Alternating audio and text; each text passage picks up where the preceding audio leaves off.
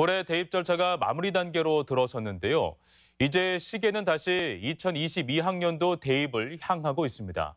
선택형 수능이 도입되고 정시 비중이 늘어나는 등 변화폭이 크다고 하는데요. 달라지는 대입 제도, 김하영 기자가 정리했습니다. 예비 고3 학생들이 응시할 2022학년도 대입 수능 시험은 문이과 통합으로 치러집니다. 탐구 영역 외에 국어와 수학에서도 선택 과목을 골라야 합니다. 국어의 경우 공통 과목인 독서와 문학에 더해 화법과 작문, 언어와 매체 중 한 가지를, 수학 역시 공통 과목 두 개의 선택 세 과목 중 하나를 택할 수 있고 사회와 과학 탐구를 통틀어 17개 과목 중 최대 두 가지를 선택하면 됩니다.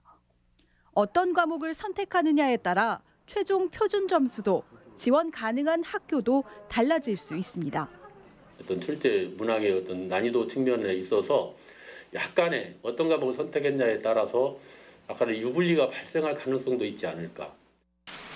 선택 과목 도입으로 수능 시험의 범위는 다소 줄지만 중요성은 오히려 커집니다. 현 정부의 기조대로 정시 비중이 확대되기 때문입니다.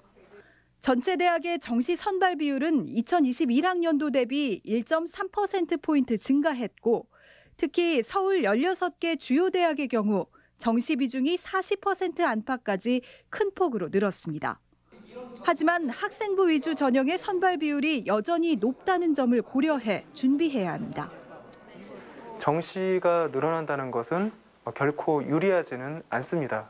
그럼에도 불구하고 수시 전형으로 선발하는 비율과 학생부 이주 전형이 여전히 많은 인원으로 선발하고 있기 때문에 약학대학 학부생 선발도 14년 만에 재개됩니다.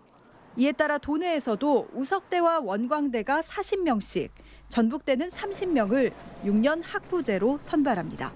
MBC 뉴스 김아연입니다.